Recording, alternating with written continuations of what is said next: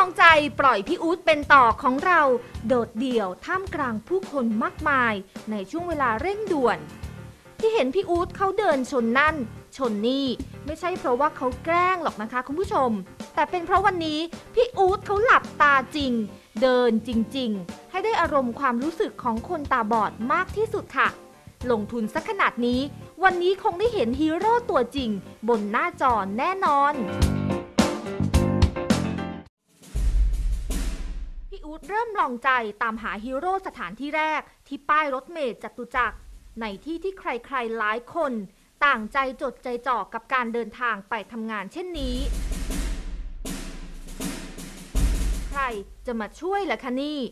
บางคนได้แต่ยืนมองเฉยๆ บางคนก็มาช่วยพยุงไม่ให้ล้ม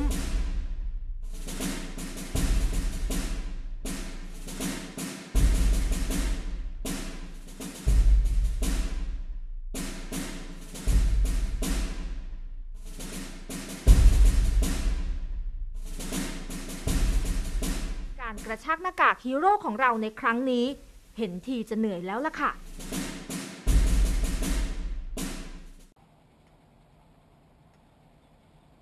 พี่อู๊ดของเรายังไม่สาแก่ใจ ขอมาอาสาลองใจกันต่อ ช่วงเวลาเที่ยง ท่ามกลางคนพลุกพล่าน ในอนุสาวรีย์ชัยสมรภูมิ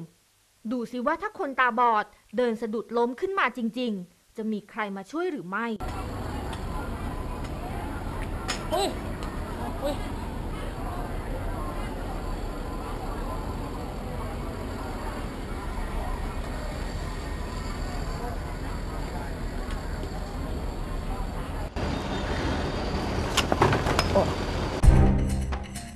คุณผู้ชมคะ เรามาชมภาพกันช้าๆ ชัดๆ อีกครั้งนะคะ พี่อู๊ดของเราล้มลงไปกองกับพื้นแบบหมดท่าซะขนาดนี้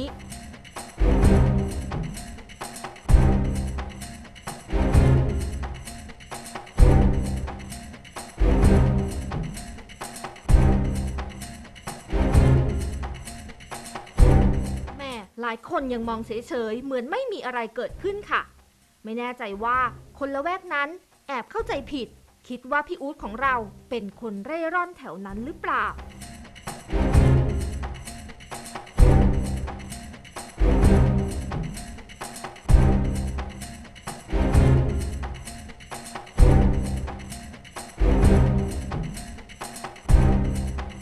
เวลาผ่านไปนานพอสมควรค่ะ จนมีคนมาพยุงขึ้น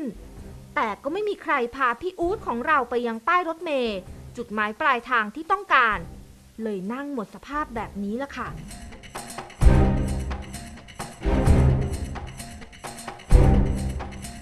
แต่จนแล้วจนรอดก็ยังไม่มีใครสนใจ เข้ามาช่วยเหลือชายตาบอดคนนี้สักที เดินผ่านไป ผ่านมาหลายต่อหลายคน จนพี่อู๊ดของเราเริ่มท้อแล้วล่ะค่ะ ว่าภารกิจในครั้งนี้ คงไม่มีใครช่วยเหลือเขาแล้วจริงๆ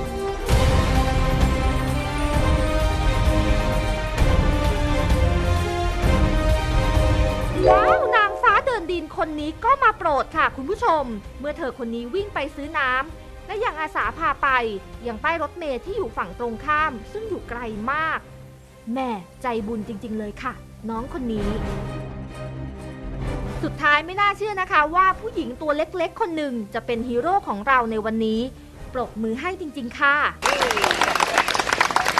ก็ตอนแรกก็ไม่ได้คิดอะไรค่ะ พอดีเห็นเขาล้มอยู่อะค่ะ ก็เลยแบบจะไปช่วยก็ยังไงอยู่อะค่ะ เพราะว่าเดี๋ยวกลัว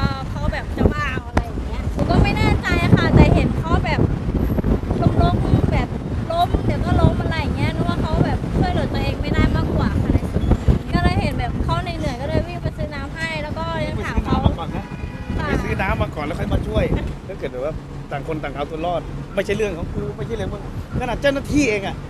เดินผ่านเฉยเลยนะแบบผมลุกไม่ขึ้นอะก็ยังเดิน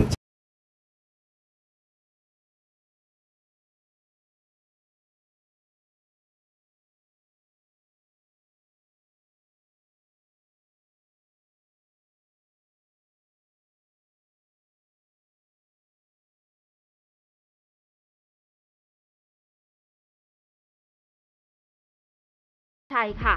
และเหตุการณ์ที่ไม่คาดฝันก็เกิดขึ้น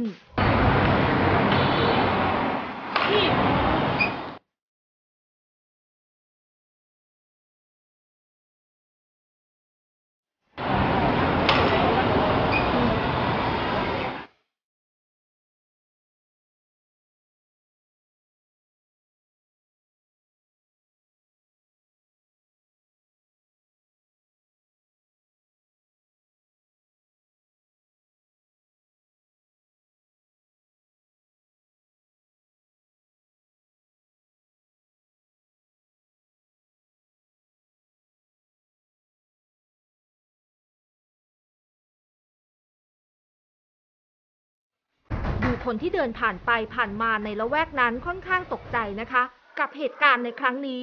แต่ก็ยังดีค่ะ ที่มีคนมาช่วยพยุงขึ้น และหาไม้เท้าให้พี่อู๊ดของเราในครั้งนี้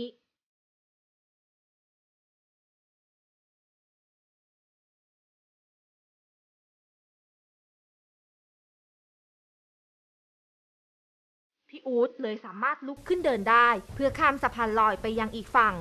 และหญิงชายสองคนที่ช่วยพยุงขึ้นนั้น ก็เดินจากไป แต่เอะจะเดินต่อไปอีกฟากหนึ่งเนี่ย ไม่ใช่เรื่องง่ายเลยนะคะคุณผู้ชม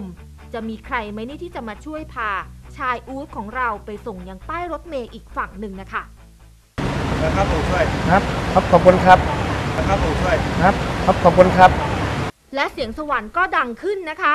ว้าว ปรากฏว่าสถานการณ์พลิกเลยค่ะ คุณผู้ชม ชายหญิงคู่นี้ที่เพิ่งเดินจากไปเมื่อสักครู่ เขากลับเดินย้อนมาช่วยพาคนตาบอดของเราไปส่งยังป้ายรถเมย์ที่เป็นป้ายรถเมย์เป้าหมายได้ตามที่ต้องการ ก็รู้สึกก็อยากจะช่วยครับผมพี่เดียวคิดว่าแบบทุกวันเนี่ยที่มีคนแบบคนบางทีนะก็มีการแบบคืออายที่จะช่วยกันคือแบบเฮ้ยเรารีบไปธุระหรือว่าเฮ้ยไม่ใช่เรื่องของเราอะไรเงี้ยมีเยอะนะ คือบางทีก็พาผมมาส่งแบบขึ้นมากงกลางแล้วก็หายไปเลย เนี่ยอย่างนี้คือแบบพี่เขาพามามาส่งถึงที่ด้วย อย่างที่พี่บอกพี่บอกว่าจะมีคนมาไปรอตรงตีนสะก็พานวันนี้ผมอะไรจะลงเงี้ยไปโรงพยาบาลแล้วเด้อครับพี่ก็เป็นคนดีนะเนี่ย แล้วก็คนดีอย่างนี้หายากแล้วครับ พี่น้องครับ ขอบคุณนะครับพี่นะครับที่ยังนี่ขอบคุณพี่สังคมยังเหลืออยู่อะพี่ผู้หญิง